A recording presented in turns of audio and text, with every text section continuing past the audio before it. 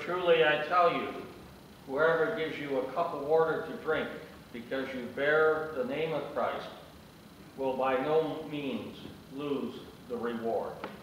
In the name of the Father, and of the Son, and of the Holy Spirit. Amen.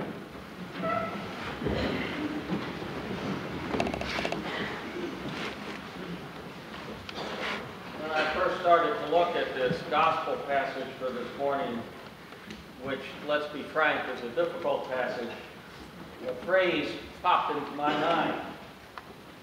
Membership matters. Now that may sound like an old ad for American Express, but membership was important to the people that Mark was writing for. How were these Christians, that they were starting to be called, how were they supposed to live? What did it mean to be a follower of Jesus the Christ? They sure did not fit into the Greco-Roman society that surrounded them. In persecution, both in Rome and elsewhere in the empire, it started by the time Mark wrote. So membership was a really big deal. Membership really mattered. Of course, that's the very reason Mark wrote down the good news. The rapidly growing church had to be able to hear Jesus' teaching. In one way, in his gospel, that Mark makes Jesus' sayings or teachings available is to collect many of them together in one place. And that one place is in the story of Jesus' final journey to Jerusalem. We have been on that journey, as told by Mark, for three weeks now. Two Sundays ago, we heard that to be a follower of Christ meant you had to take up your cross. Last Sunday, we were told that membership meant that whoever wants to be the first must be the last of all and the servant of all. This week, we hear two more teachings of Jesus's. One is a list of actions that are not acceptable for members. The other teaching is about boundaries. Who is in and who is out. This morning, I want to focus on the teaching about boundaries. Now, Mark has John raise the issue of boundaries, of who belongs. John reports to Jesus that a man who is not following us is casting out demons in Jesus' name. John explains how he and others tried to stop this individual. I suspect that John was anticipating that Jesus would agree and would stop this interloper. And of course, Jesus does not. Jesus replies first with the pragmatic viewpoint. If he is for us, he ain't against us. But then Jesus goes further, much further. Anyone who does even a simple act of kindness, giving a cup of water in response to those who bear the name of Christ, will not lose the reward. The reward here refers to the kingdom. Instead of the exclusive criteria that John would set, Jesus says any act of kindness, any act of love in his name is enough to be counted in, to be connected. I believe it is no accident that Mark has John raise the question of who's allowed to be connected to Jesus and who isn't. John is at the inner core of Jesus' followers, along with Peter and James. In this very same chapter of Mark that we are reading from today, just a handful of verses ago, John is one of the three apostles who went up to the mountain with Jesus and witnessed the transfiguration. Maybe, just maybe, that experience went to John's head. When we are blessed, the temptation is to believe we earned that blessing. When we are shown the love of God, the temptation is to believe that it is ours alone.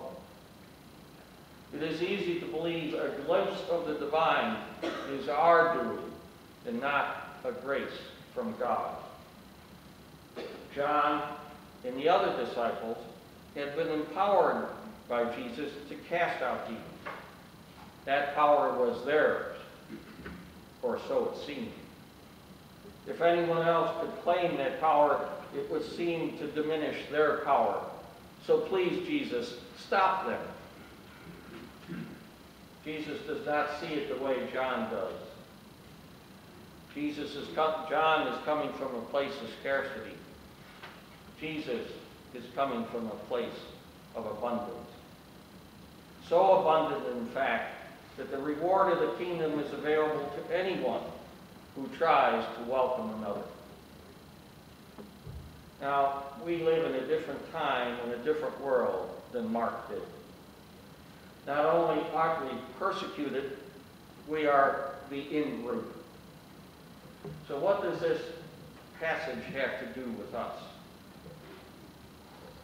The issue of boundaries, of who we are to accept, welcome, and really connect with, has both institutional and personal implications. Both are important, but we must not confuse the two. Every church I've ever been part of likes to say they are a friendly, welcoming church. I have never read a church bulletin that says we strive to be the most unfriendly church in this town. By and large, I think churches really try to be friendly. I know that Bruton surely aspires to be that type of church. We have many visitors here, and we go to no small effort to welcome them. Bruton Parish must be one of the most visited parish churches anywhere. The estimate is we have upwards of a million visitors a year. If you are visiting today, I hope and pray that you feel welcome.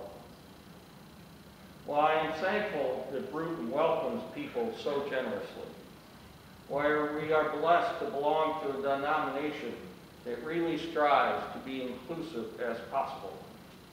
What the gospel is really focused on is each of us, you and me. Jesus did not teach institutions. He taught people. Institutions must strive to reflect the teachings of Jesus. But in the end, they can do that only to the extent that the people who make up an institution live into those teachings. Thus, I think today's gospel is a calling to deeper and personal understanding of welcome, to deeper and individual understanding of connection one with the other. So what does this call to connect each other mean? Whatever it means, it seems like it is becoming an endangered species. We live increasingly in a world that wants us to be a part of a group that is right, and everyone outside that group is wrong.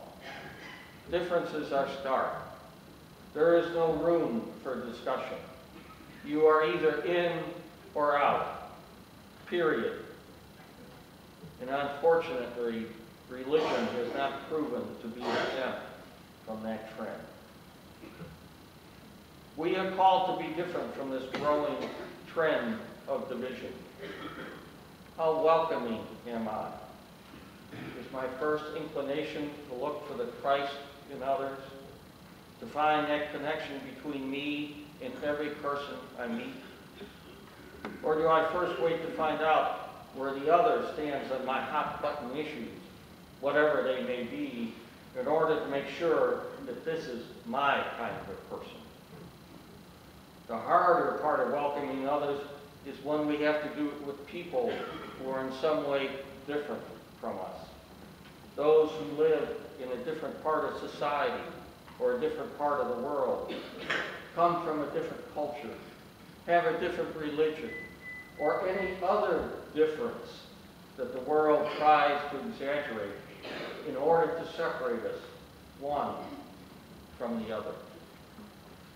We are all affected by the shrill voices that want to focus only on the divisions that exist in the world today. Today's gospel reading is an invitation to see things from Jesus' viewpoint.